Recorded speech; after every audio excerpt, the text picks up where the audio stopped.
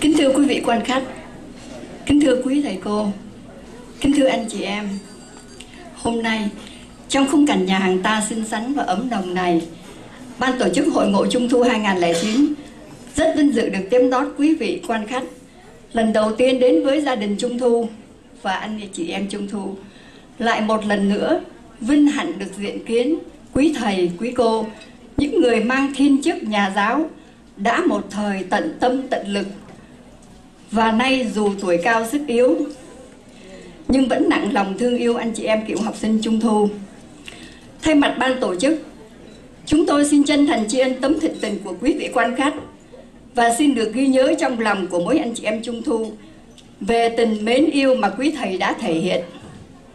Ban tổ chức xin thân ái và nồng nhiệt gửi đến toàn thể anh chị em trung thu lời chào thân thương và đượm đầy tình cảm của tất cả bạn bè cùng lớp cùng trường. Đã vì tiếng gọi trung thu mà quên đi khó nhọc không quản ngại xa xôi. Để cùng về San Jose thung lũng hoa vàng. Đất ấm tình nồng hội tụ. Dù rằng phải đến từ nửa vòng trái đất Việt Nam quê hương mến yêu từ Úc Châu xa thẳm từ Hòa Lan, Canada, Pháp Quốc và từ nhiều nơi trên đất nước Hoa Kỳ. Kính thưa quý vị quan khách, với sự tín nhiệm của anh chị em Trung Thu, chúng tôi, anh chị em cựu học sinh Trung Thu Bắc Cali hân hạnh nhận lãnh trách nhiệm tổ chức hội ngộ lần thứ tư này. Kính thưa quý thầy cô, hình hài của chúng con là do cha mẹ tạo dựng, nhưng kiến thức chúng con có được là nhờ ở sự dạy dỗ, bồi đắp của quý thầy, quý cô. Do vậy, dù nay đã có chồng có vợ và sinh con đẻ cháu, nhưng chúng con vẫn mãi mãi ghi nhớ công ơn cao dày ấy. Thưa quý anh chị em, cuộc sống này ngắn ngủi và vô thường. Tiền bạc địa vị, công danh cũng chỉ là những thứ tạm bợ. Và chỉ có một thứ tình đáng trân quý và luôn luôn được lưu luyến, đó là tình người. Xin hãy cùng nhau vun đắp ngày cùng thắm được tình nghĩa của chúng ta, tình đối với thầy cô và bằng hữu. Xin hãy cùng nhau nhớ lấy một điều về nguồn gốc trung thu của mình để từ đó sống và suy nghĩ và thể hiện bằng hành động xứng đáng và tự hào là cựu học sinh trường Trung Thu. Kính thưa quý vị quan khách, kính thưa quý thầy cô, thưa quý anh chị em, một lần nữa, thay mặt ban tổ chức, chúng tôi xin trân trọng cảm ơn quý quan khách, quý thầy cô và toàn thể anh chị em đã dành thì giờ cho buổi ngồi ngộ hôm nay. Xin trân trọng cảm ơn quý thầy cô, quý thân hữu vì lý do riêng biệt không thể đến tham dự nhưng vẫn thương mến gửi sự yểm trợ cho ban tổ chức. Sau cùng xin kính chúc quý vị quan khách, quý thầy cô và anh chị em một buổi dạ tiệc tràn đầy niềm vui và xin thông cảm những thiếu sót mà ban tổ chức chúng tôi không sao tránh khỏi. Minh Tâm Xin mời chị Trần Bích Nga Anh Lê Nhân Từ Anh Nguyễn Đăng Khoa Chị Bạch Thị Liễu Chị Dương Thu Trang, Chị Lê Quang Tuyến, chị Trần Thị Thanh Thủy, chị Nguyễn Ngọc Nhung, chị Lê Khắc Phương Tú và chúng tôi, Nguyễn Ngọc Khôi.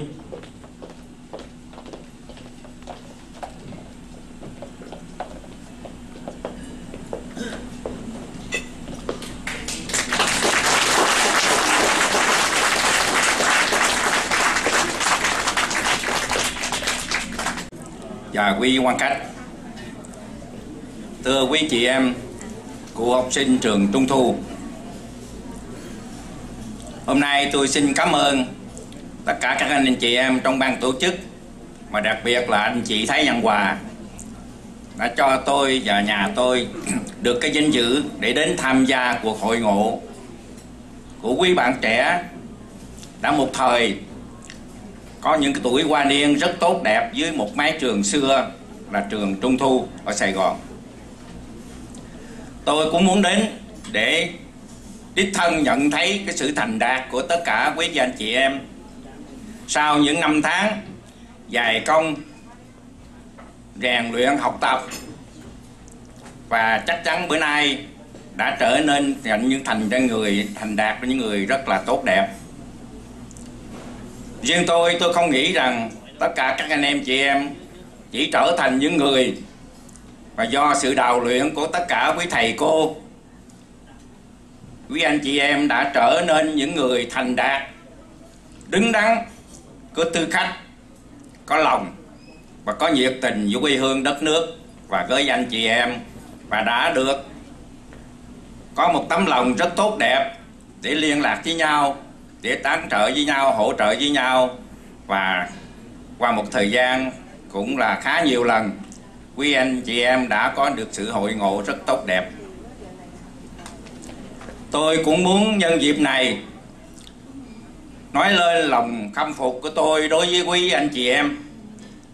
Và tôi cũng muốn góp lời của tôi cùng anh chị em để nói lớn lên lòng biết ơn các anh, các thầy cô đã một thời gian rất là dài, lâu dài. Đã bỏ ra công sức, đã tận tình, tận lực để rèn luyện cho các anh chị em trở nên thành những người đứng đắn trong xã hội và tiếp nối những cái công trình mà ông cha của chúng ta để lại lại cho chúng ta. Những thành quả mà quý anh chị em đã đạt được đã nói lên một cách rất là hùng hồn thực tế. Khả năng của các thầy cô, của những người đã đi trước và những người xưa đã bỏ công bỏ sức ra trong một cái thời gian mà đất nước chúng ta đã trải qua những cái lúc rất là khó khăn. Riêng cá nhân tôi tôi cũng đã có một cái thời mà ở lứa tuổi của các anh chị em. Khi các chị em sống ở trên trường trung thư và tôi cũng ở lứa tuổi của các anh chị em trong hiện tại. Nghĩa là chúng tôi cũng có nhiều ước mơ. Nhưng mà tôi nghĩ trong thời loạn đạt đó, tôi đã không thật sự thi hành được tất cả những cái giấc mơ của chúng tôi khi chúng tôi còn trẻ và tôi hy vọng rằng quý bạn trẻ, quý cháu sẽ có nhiều cơ hội tốt đẹp hơn cái thưa tuổi của chúng tôi. Và quý cháu sẽ biết sử dụng những cái tài năng tốt đẹp mà thượng đế đã ban cho quý quý cháu. Và những hoàn cảnh tốt đẹp mà quý giáo đã đang thừa hưởng hiện tại. Tôi mong rằng quý cháu sẽ đem tật lệnh, tận lực để đóng góp cho những người ở hải ngoại và ở người trong nước. Được tất cả những cái gì mà họ đang còn thiếu thốn. Và tôi tin chắc rằng tuổi trẻ sẽ nuôi dưỡng được cái sự trong sáng tốt đẹp trong cuộc sống và quý bạn có và những cái điều tốt đẹp đó sẽ giúp cho các bạn đạt được chân thiện mỹ trong cuộc đời này. Và chót hết, chúng tôi cũng xin chúc cho quý thầy cô và quý bạn trẻ, quý cụ học sinh có những cái ngày sinh hoạt, sống động, tốt đẹp, đầy hứng thú, có những cái chuyện kỷ niệm đáng ghi ở vùng thung lũng hoa vàng. San Jose của chúng tôi. Và chúng tôi chắc chắn rằng sau này 5 năm nữa 10 năm nữa, dù tất cả các bạn ở nơi nào đang đi nữa, mà khi nhớ đến San Jose, thì tôi nghĩ rằng quý thầy cô và quý bạn sẽ khám phá ra rằng trong cuộc đời, hoài niệm bao giờ cũng là những kỷ niệm đẹp kính thưa quý vị quan khách.